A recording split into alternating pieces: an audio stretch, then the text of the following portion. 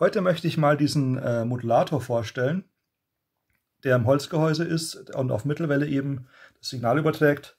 Der Einsatzzweck des Modulators ist das Übertragen eines Tonsignals auf einen antiken Radio. Zum Beispiel hier so ein kleiner Taschenradio und hier habe ich noch einen selber gebauten Audion.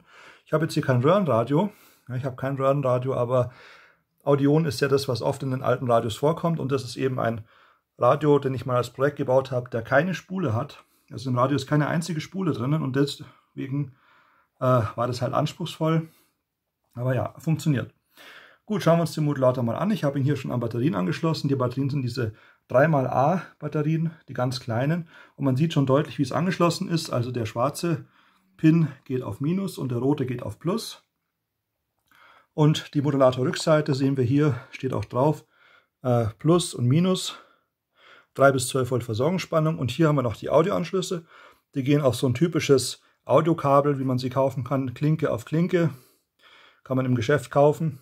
Und ich habe jetzt hier die äh, Anschlüsse eben ganz deutlich gezeigt, wie man das anschließt. Also das Weiße geht hier hinten an Masse und das Gelbe geht vorne an entweder den vorderen oder den mittleren Pin.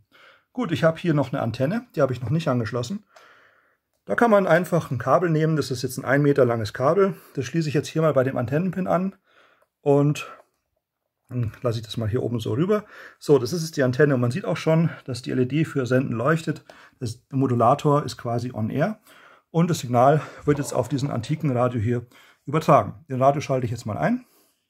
So, der ist schon eingeschaltet und jetzt starte ich hier mal die Wiedergabe. Muss man die Frequenz noch genau einstellen. Bisschen lauter machen. Was wir spielen.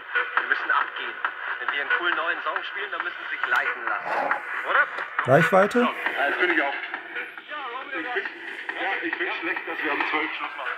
Ja, finde ich eigentlich persönlich auch schlecht, aber mal für, für Leute, die es bei dem Öffentlichen ganz gut finden, Michael Mittermeier ist. Die Tonqualität ist ziemlich gut.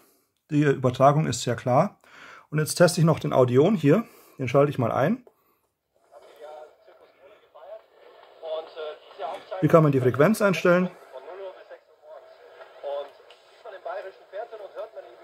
96 rein besten Sound. Deswegen. Ja, mein Gong ist eben für alle da.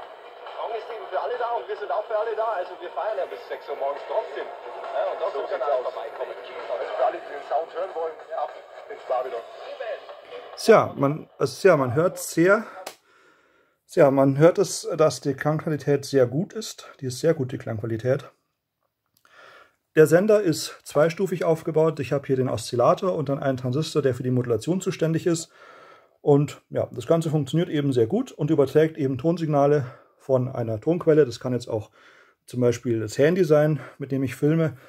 Das könnte ich auch anstecken. Überträgt eben die Tonsignale auf so ein antikes Radio. Aber diese Transistorradios, die mag ich persönlich sehr gern, weil die sehr kompakt sind. Ich meine, man sieht ja zum Vergleich die Hand.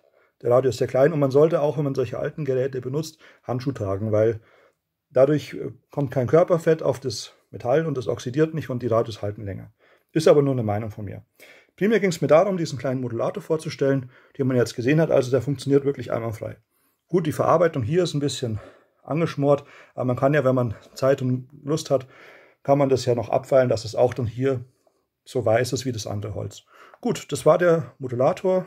Ich hoffe, das Video hat gefallen. Beste Grüße, Stefan.